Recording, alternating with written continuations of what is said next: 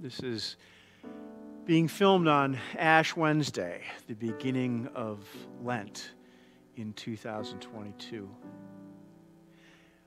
In 1997, uh, we traveled to Sweden and Norway to see family. Now, I'd never seen any family of mine in Norway, so we took a chance and drove across the border and I went to the town where I knew that my ancestors were were born and buried and one thing led to another and I met a gentleman and he I said, "Do you know any of these folks?" He said, "Sure, they live right up on the hill."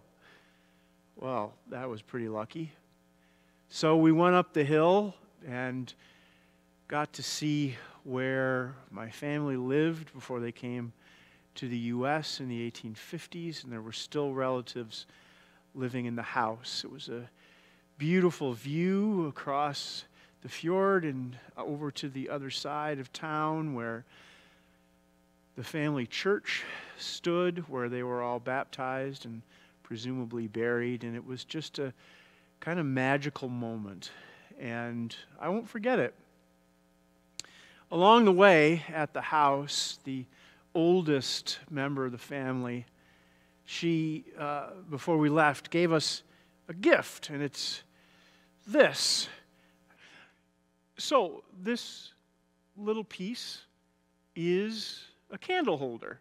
It might not look like it, but it's got a hole in the top and little feet. It's not fancy, it's dented up a little bit. And the patina reminds us that it's old. But you know what? Dented, old, I don't care. It's a treasure to me. If our house was on fire, and I hope it never is, but if it was, this would be one of the things that I grab before we get outside. In the lesson for Ash Wednesday, the gospel lesson, it says, Where your treasure is, there is your heart. And this is certainly a treasure of mine. Again, not very small, not, or not very large, not very fancy, but a treasure nonetheless because of where it came from and who it came from. You know, when I do funerals, I hear families talk a lot about, well, now we have to clean out mom's house or clean out dad's house. Because over the years, mom or dad had collected all sorts of treasures, all sorts of things that were meaningful to them. But it also makes me think that we probably have more treasures than we need.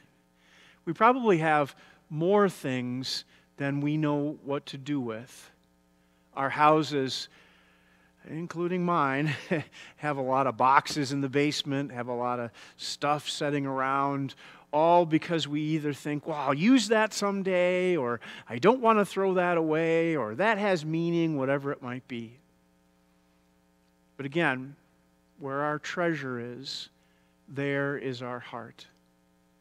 Lent calls us to really examine what our treasures are and where they are and how attached our heart is to them.